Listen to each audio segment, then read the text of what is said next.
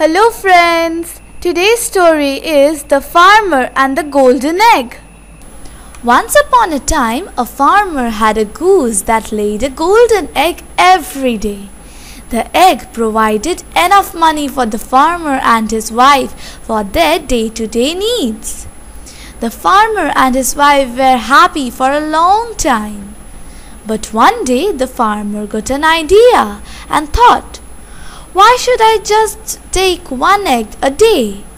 Why can't I take all of them and make a lot of money at once? The foolish farmer's wife also agreed and decided to cut the goose's stomach for the eggs.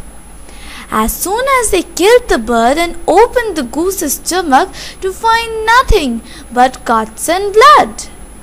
The farmer, realizing his foolish mistake, cries over the lost resource. The moral of the story is think before you act.